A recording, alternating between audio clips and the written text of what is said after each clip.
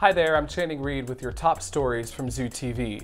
The death toll continues to rise from the coronavirus outbreak that originated in Wuhan, China. There are now over 1,000 deaths and over 42,000 confirmed cases worldwide. Now, back here at home, the, the 12th positive test for the virus was confirmed Monday in Maine by the Center for Disease Control and Prevention.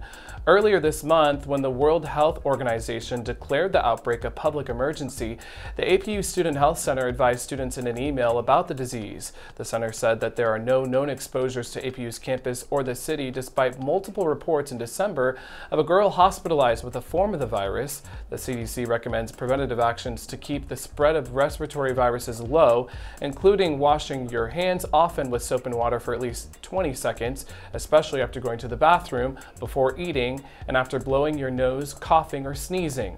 Despite the confirmed cases of coronavirus in the U.S., officials say the risk of the virus spreading remains low.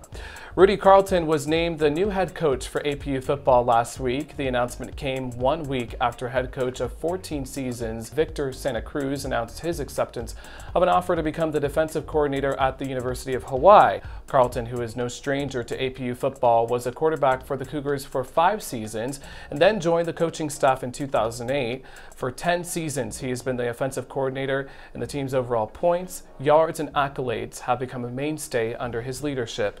President President Ferguson endorsed APU Athletic Director Gary Pine's recommendation of Carlton being the next head coach, saying, quote, I am confident that our football program will continue to demonstrate success on and off the field under Coach Carlton.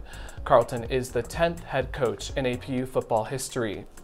Also making sports headlines, men and women's basketball paved their way to victories over the Chaminade Silver Swords this weekend at home. On Saturday, the men's team faced one of their toughest tests against the Silver Swords, but the Cougars held on and came away with a 75-71 win. The game was fast-paced with constant lead changes, but the Cougars were relentless in their pursuit of victory. On the women's side, the Cougars beat the Silver Swords 76-53. The Cougars came out strong in the first quarter, but Chaminade was able to cut cut APU's lead to one. However, as the second quarter came around, the Cougars pushed through and never let up until the final buzzer. And on Thursday, the Department of Theater Arts will debut the West Coast premiere of Academy Award winner Aaron Sorkin's new Broadway adaptation of To Kill a Mockingbird in the Warehouse Theater. The powerful play that is based on Harper Lee's original novel focuses on the limits of tolerance and the boundaries of forgiveness and addresses the issues of racism and sexual abuse. A content advisory was issued by the department as the show includes disturbing language and monologues that describe physical abuse. The production will run Thursdays through Saturdays through February 29th at 7.30 p.m., plus matinee performances at 2 p.m. on Saturday. Tickets can be purchased online or at the box office outside the Felix Event Center on West Campus.